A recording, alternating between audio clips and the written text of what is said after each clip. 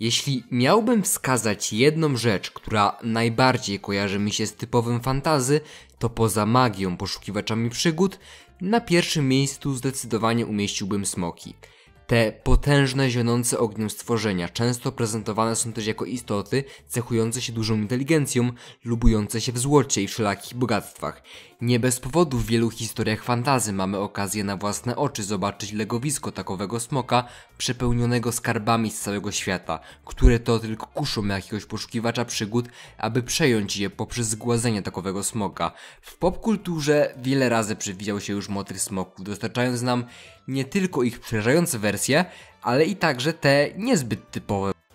Bo w końcu z jednej strony mamy takie postacie jak Smaug z Tolkienowskiego Śródziemia lub te pojawiające się w serii Gry o Tron, a z drugiej jednak strony mamy chociażby smoki pokojówki z anime Kobayashi Sanchi no Maid Dragon. Mieliśmy historię o ludziach dosiadających smoki i to nie jeden raz, lub też historie przedstawiające te stworzenia w bardziej komediowy sposób i zdecydowanie w mniejszej formie, jak na przykład Muszu z Mulan. Gdy się nad tym zastanowić, to smoki, można by było się zdawać, zostały już przemielone i przedstawione w jakiejkolwiek formie, na jaką wpaść jest w stanie człowiek. Tak więc, czy kreskówka, którą dzisiaj omawiam, podchodzi do tego tematu bardziej odkrywczo? Czy może więc jest jednak odgrzewanym kotletem, którego widzieliśmy milion razy? Zapraszam, spróbujemy sobie na, na te oraz inne pytania trochę odpowiedzieć, rozsiądźcie się wygodnie i zapraszam Was na recenzję nikogo innego, jak jedynego w swoim rodzaju, amerykańskiego smoka.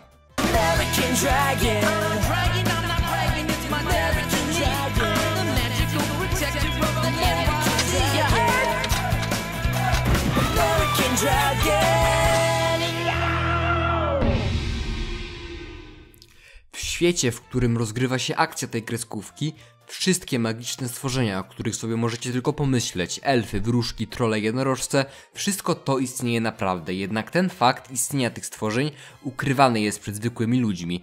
Tak samo w świecie tym istnieją smoki, a raczej są to ludzie, którzy mogą przyjmować formę takiego fantastycznego smoka. Jednym z nich jest właśnie główny bohater tego show, czyli 14-letni Jake Long, który to został pierwszym amerykańskim smokiem, mającym strzec porządku w magicznym świecie na terenie Ameryki. Wciąż jednak przychodzi szkolenia, aby móc się stać pełnoprawnym obrońcą magicznych istot. Pod przewodnictwem swojego dziadka uczy się jak używać swoich smoczych mocy, jak latanie czy zianie ogniem, a to dopiero wierzchołek góry lodowej tego, co musi opanować jako amerykański smok. Będąc szczerym, seria ta to mój ulubiony typ fantazy bo jest to urban fantazy, kiedy to elementy fantastyczne pojawiają się w naszym współczesnym świecie i pod tym względem myślę, że serial ten radzi sobie wyśmienicie i moim zdaniem bardzo płynnie wprowadza odbiorcę w świat przedstawiony. Nie jesteśmy rzucani na głęboką wodę, dzięki czemu nie gubimy się w przedstawionym nam świecie, ba, nawet po czasie jesteśmy w stanie jak najbardziej zrozumieć, jak działa ten cały fantastyczny świat, że w tym miejscu mieści się to, a w innym co innego. Praktycznie każdy odcinek dodaje coś do lore świata przedstawionego, zawsze w małej ilości, bo jeśli mam być szczerym, to pomimo tak potężnego uniwersum, serial ten jest bardzo kameralny i wyróżnia się na pewno swoją prostotą. Nawet główny wątek z motywacją głównego antagonisty którą jest pozbycie się wszystkich magicznych stworzeń, wydaje się taki, no będąc szczerym, nijaki. I tutaj niestety muszę trochę ponarzekać, bo tak jak ta kameralność działa w innych aspektach tej produkcji i jest moim zdaniem celowym zabiegiem, tak tutaj po prostu widać, że coś nie poszło w tworzeniu tego wątku. Bo ja jako odbiorca byłem cholernie zawiedziony i nieusatysfakcjonowany z ostatecznego wyniku, jaki nam tu zaprezentowano. Pomijając nawet już sam fakt, że główny antagonista jest najbardziej jednowymiarową postacią tego show i nie jest nijak rozwinięty. Najlepszymi jego elementami była ta tajemniczość oraz ten przekozacki design budzący lekkie poczucie grozy. Jednak co z tego, jeśli obie te rzeczy są mu w pewnym etapie fabuły odbierane? W drugim sezonie dostajemy zmianę designu w każdej postaci, w większości przypadków tylko w małym stopniu, bo różnią się stylistycznie. Niektóre jednak postacie, stety bądź niestety, dostają całkowity redesign. Jedną z tych postaci jest główny złodupiec tej kreskówki, czyli Hansmaster. Jego wygląd w drugim sezonie jest tak nudny i nijaki. Z przerażającego łowcy z czerwonymi oczami dostajemy zwykłego typa w kominiarce. Dodatkowo jego cały strój również zaliczył spory downgrade i dostaliśmy no po prostu zwykły mundur Hans Klanu. Wspomniałem też o tajemniczości i moim zdaniem w przypadku takich właśnie tajemniczych wilanów możemy taką postać rozwinąć w dwóch kierunkach. Albo sprawić, że złoczyńca ten pozostanie tajemniczy już do końca, nie dowiemy się jakie jest jego prawdziwe imię, skąd pochodzi, a może i nawet jak wygląda, na pewno sprawia to wtedy, że antagonista ten jest jeszcze bardziej przerażający. Natomiast drugim sposobem, w jaki można rozwinąć ten typ postaci, to zrobić wielki reveal tego, jak wygląda ta postać, kim jest lub jak się nazywa. Wtedy najlepiej dorzucić jakiś ciekawy plot twist lub naprawdę interesujące backstory postaci lub przynajmniej jakikolwiek by było. Więc jaką z tych dwóch dróg obiera ten serial? A no właśnie, że żadną z powyższych, bo serial robi reveal tego, ja- jak antagonista wygląda, pozbawiając go tej tajemniczości, ale zrobione jest to w tak nijaki sposób. Co z tego, że wiemy jak wygląda, skoro pomimo tego faktu dalej nie wiemy o nim absolutnie niczego. Nie wiąże się z tym ujawnieniem absolutnie nic ciekawego, a jedynie psuje to moje postrzeganie tego antagonisty. Dodatkowo nie mamy nawet czasu nacieszyć się całą tą sytuacją, bo wszystko ma miejsce w odcinku, w którym Jake ostatecznie pokonuje głównego złoczyńcę. A jak jeszcze przy tym jesteśmy, to całość wydaje mi się bardzo nijaka, trochę z dupy, jeśli mam być szczerym. Bo nie wiem, czy zauważyliście, ale w momencie, gdy wspomniałem o odcinku, którym główny złoczyńca został ostatecznie pokonany, wcale nie wspomniałem o nim jako o finale. Oj nie, bo co wy na to, żeby głównego antagonistę całego serialu pokonać 12 odcinków przed finałem? No nie wydaje mi się, że jest to dobry pomysł i myślę, że ostatecznie twórcy zdali sobie z tego sprawę, bo serial ten ciągnie się bezsensownie jeszcze długo, a twórcy zdają się nie mieć na niego już pomysłu. Jakby to się powinno tutaj urwać, tutaj powinien być koniec, w szczególności, że ten finał nie byłby zły, ale przez to, że no, to nie jest finał, to nie potrafię go odbierać specjalnie pozytywnie. Problem pojawia się też, gdy dochodzimy już do faktycznego finału, który będąc szczerym uważam za udany, jednak kto był tym ostatecznym zagrożeniem tego show, to jest takie trochę mech. Bo twórcy przypominają sobie o jednym, a dokładnie dwóch antagonistach, którzy pojawili się w pierwszym sezonie i to ich stawiają w roli ostatecznego zła. Co jakby samo w sobie nie jest złym pomysłem, ale nie czujesz tego już tak bardzo, jak było to z Hansmasterem.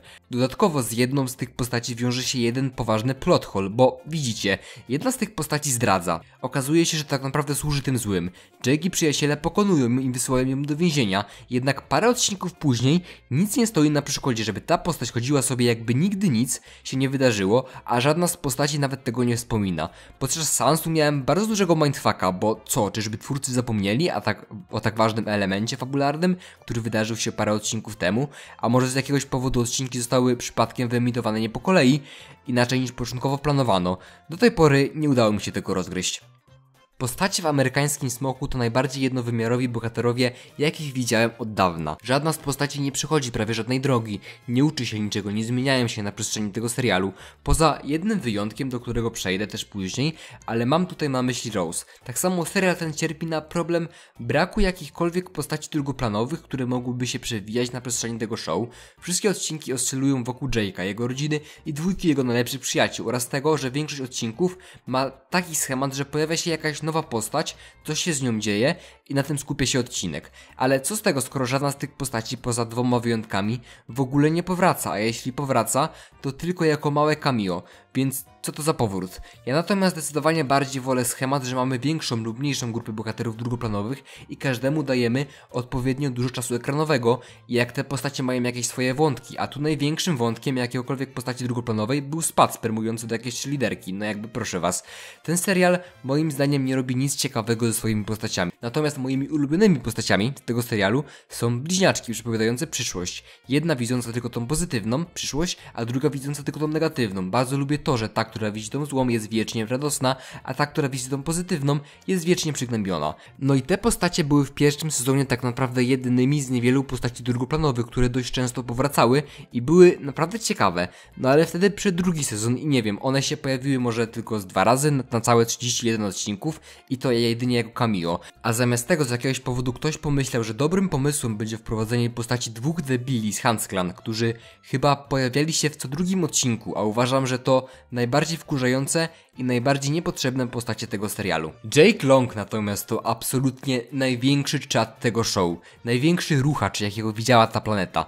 Dosłownie prawie każda jego interakcja z dowolną kobietą to podryw. Poza tym, jako główny bohater wydaje się bardzo stereotypowy, ale nie postrzegam tego jako minu minus, bo pomimo wszystko Jake jest myślę łatwą do polubienia postacią, z którą właśnie każdy będzie się w stanie zżyć lub utożsamić. Jest bardzo energiczny, często działa pod wpływem żywiołu. Myślę, że jest idealnym przykładem tego, gdy ktoś najpierw coś robi, a dopiero później myśli. W jego przypadku zdecydowanie na pierwszym planie jest jego wątek z Rose, który myślę, że jest też wątkiem w tym serialu, który jest najbardziej na pierwszym planie, nawet bardziej niż chęć pokonania Hansmastera. Ale te wątki też się jak najbardziej szybko zazębiają, bo w końcu Rose to Hansgirl i jest podwładną głównego antagonisty, co wiemy od samego początku tego show. I szczerze, bardzo lubię interakcję tej dwójki bohaterów, czy to kiedy nie mieli świadomości o swoich sekretnych tożsamościach, czy też właśnie już gdy się o nich dowiedzieli. I jednocześnie też myślę, że jest to najmocniejszy wątek tego serialu. Dlatego niemiłosiernie mnie boli, jestem wkurzony patrząc przez pryzmat tego, jak cały ten wątek zakończyli. Nie będę oczywiście spoilerował, ale twórcy całkowicie anulowali progres, jaki ta bajka zrobiła względem tych postaci, sprawiając, że wszystko to, co przez chwilę oglądaliśmy, nie ma najmniejszego znaczenia. Co do samej Rose, to jest bardzo sympatyczną personą i zdecydowanie postacią o najbardziej tragicznej przeszłości. Samo to, że była szkolona od urodzenia tylko po to, aby mordować magiczne stworzenia, już jest przerażające, jeśli się o tym pomyśli. A dodatkowo sam wątek tego, jak dowiedziała się, że Jake jest smokiem i starała się mu pomóc, pomimo bycia jego odwiecznym wrogiem, to również moim zdaniem jeden z najlepszych elementów tego serialu. Jake ma też dwójkę towarzyszących mu przyjaciół, Spada i Trixie. Jeśli o samym Spadzie, to absolutnie kocham tego gościa. Wiecznie odklejony debil, który jest największym comic reliefem tego show, a jednocześnie kiedy trzeba, to jest w stanie pokazać, że coś tam potrafi, oczywiście w jego wiecznie odklejony sposób. Natomiast Trixie... Ja trochę nie wiem po co ona w ogóle jest w tym serialu. Tu znowu wracamy do tego, gdy mówiłem, że kreskówka nie robi ze swoimi postaciami nic ciekawego i myślę, że ta postać jest tego idealnym przykładem. Gdyby jej nie było, myślę, że serial ten wyglądałby tak samo. Osobiście kojarzę ją tylko z tego, że wiecznie się gdzieś tam pląta z Jake'iem i resztą i że ma taki trochę zadziorny charakter. Ale to tyle. Tak samo Triki sama w sobie jest moim zdaniem bardzo niejako napisaną postacią i nie sprawia wrażenia jakkolwiek ciekawej dla odbiorcy. Fu to pies niejako należący do dziadka Jake'a, ale tak naprawdę sam jest magiczną istotą. Ma już ponad 600 lat i potrafi mówić. Dodatkowo jest czymś w rodzaju takiego magicznego strażnika dla Jake'a, czyli wiecie, kogoś kto będzie pomagał mu w wypełnieniu obowiązków amerykańskiego smoka. Kanonicznie bardzo mnie bawi, że to on jest odpowiedzialny za zatopienie Atlantydy. Tak więc to by było na tyle, dzięki za wysłuchanie mojej recenzji. Ja życzę wam miłego południa, wieczoru czy tam pranka i jak zawsze, łączmy się w bólu.